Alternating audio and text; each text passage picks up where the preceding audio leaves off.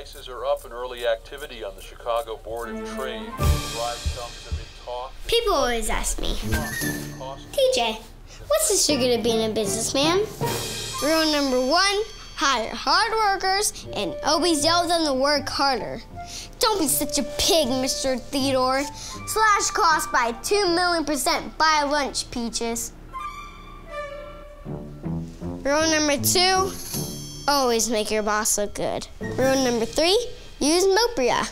It lets me and my dad print from his phone to almost any printer. Like this picture of me firing Mr. Clumpy. Patches, please put that in Mr. Clumpy's file and get me a hot chocolate ASAP.